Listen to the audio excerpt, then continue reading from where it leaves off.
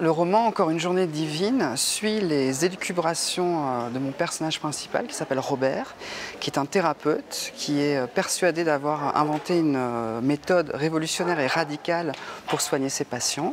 Cette méthode, il l'a écrite, il l'a consignée dans un livre qui s'appelle Changer le monde et qui, toujours selon Robert, est un best-seller mondial que des millions et des millions de lecteurs s'arrachent. Sauf que Robert, dès les premières lignes de Encore une journée divine, est lui-même interné dans un hôpital psychiatrique. Donc c'est un dispositif scénique assez simple. Un psy lui-même interné dans un hôpital psychiatrique et ce dispositif indique au lecteur que évidemment le personnage euh, euh, n'a peut-être euh, pas dit la vérité, toute la vérité, rien que la vérité. Et le livre va être une longue confession et on va peu à peu découvrir ce qui se trame derrière ce personnage, ses rapports avec sa famille, ses rapports avec ses patients, ses rapports avec son père notamment et comment il en est arrivé à être enfermé dans un asile. Fait, la quasi-totalité de mes livres sont écrits à la première personne, parce que j'aime bien rentrer dans la tête d'un personnage. Pour moi, le jeu, c'est la littérature moderne, c'est se rapprocher au plus près de ce que nous vivons au quotidien, parce qu'au fond, je ne sais pas ce que vous pensez à ce moment, en ce moment, je n'ai pas accès à vos pensées, et je trouve que l'écriture à la première personne épouse cette, euh, cette, incertitude, cette ambiguïté qui nous constitue, nous, êtres humains. Donc j'aime bien écrire à la première personne, mais pour la première fois, j'ai décidé d'écrire un monologue adressé.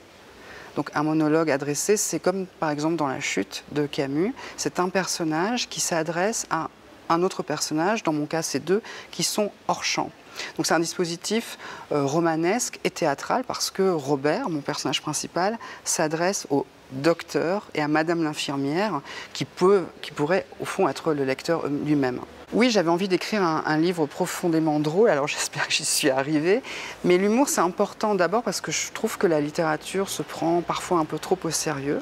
Donc j'avais aussi envie euh, d'écrire un livre qui provoque comme ça des éclats de rire. Et puis, euh, mon personnage principal, Robert, je, je voulais aussi que le, et puis je voulais aussi prendre le lecteur à son propre piège, c'est-à-dire d'un côté on rit de la folie du personnage, mais peu à peu on se rend compte quand même que le message qu'il y a derrière, que sa vision du monde est terrible. Et je voulais aussi mettre de cette manière le lecteur en garde parce que souvent les grands complotistes, les grands populistes, on l'a vu avec Donald Trump, ce n'est pas parce que c'est des clowns qu'il ne faut pas les prendre au sérieux. Ce n'est pas parce que c'est des clowns qu'on ne doit pas euh, se rappeler à quel, point ils ont une folie destructrice derrière. Donc c'est voilà, c'est pour dire au, au lecteur qu'on peut être à la fois, on peut provoquer le rire et aussi provoquer l'effroi. En fait, on pourrait dire que le livre est une sorte de farce tragique ou un drame comique. Donc c'était important d'avoir ces deux aspects-là.